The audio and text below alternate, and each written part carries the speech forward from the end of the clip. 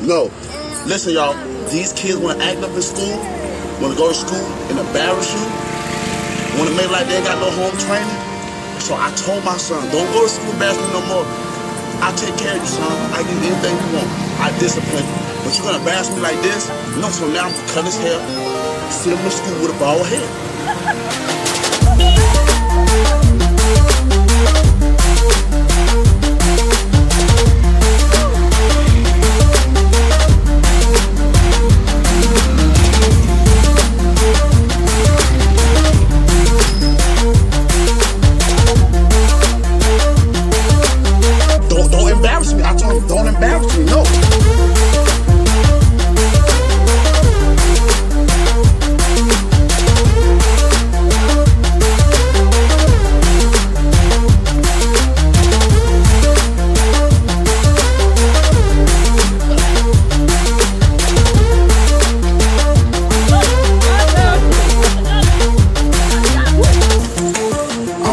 my life ever humiliate my own DNA on a social media network.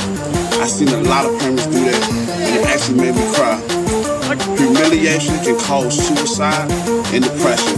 Come on, I'm 26 and I know better than that. Come on, y'all. I, I do not respect that. Everybody have their own opinion. The people that might get mad with this video is the people that probably already embarrassed their child. You can you can't discipline your child in their room. Take something away from them. If they act up, well, well my sons, if they act up, I'm like, son, you can't play the game today.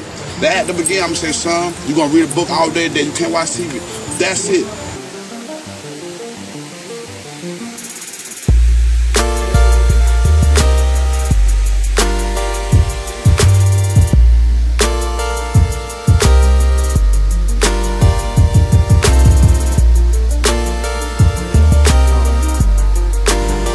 Up.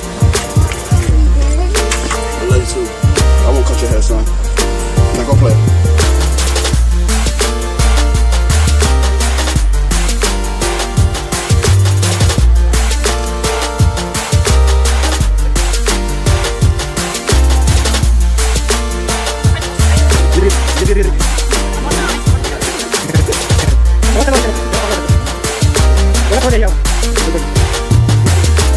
Like we living in a society now where people want to record how they discipline their child.